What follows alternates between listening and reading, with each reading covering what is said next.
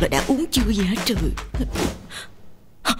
Boys do it right, cause the girls know best. Stand up, sit down. Dính thiệt rồi. Girls all stand for the boys in the band. Come on, everybody, and Anh nói cái gì đi chứ. Nói cái gì bây giờ? Mà thôi anh đừng nói gì hết. Vậy tốt hơn. Các cậu uống gì Ờ cho tôi bia đi. Coca đi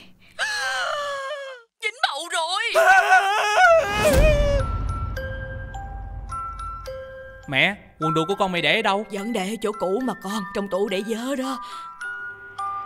Ủa là mẹ mình mà. Em đã nghĩ kỹ rồi Không được đâu. Mình làm sao mà đẻ được chứ? Cô thấy con đâu có bị làm sao đâu giúp con. Mấy đứa nhóc này đi. Bà thấy có ổn không? Em nghĩ là mình cần tuấn thai kỳ của kẻ ngốc. Nó nói cái gì vậy mà? Mẹ ơi! Con không hút thuốc Ờ cảm ơn. Đỡ tốn. Con mình mà có cái mông giống em thì tội nghiệp cho nó lắm. Đúng rồi tốt đó. Từ đó đến giờ cô tăng mấy ký rồi? Tôi không có mập Chỉ là tôi đang có bầu thôi mà. Ủa sao không thấy gì Mất ta? rồi hả? Xảy rồi hả? Không ý tôi nói là bị lớp mỡ cản trở quá trình siêu âm.